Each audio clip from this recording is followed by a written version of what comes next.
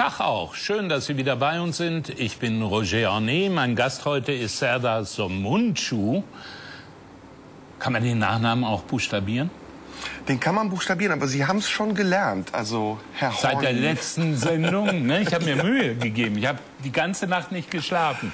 Ich habe immer gedacht, nicht Somuncu, das ist die rumänische Form, Somuncu. Dass so einer wie Sie nachts an mich denkt, das macht mir ein bisschen Angst.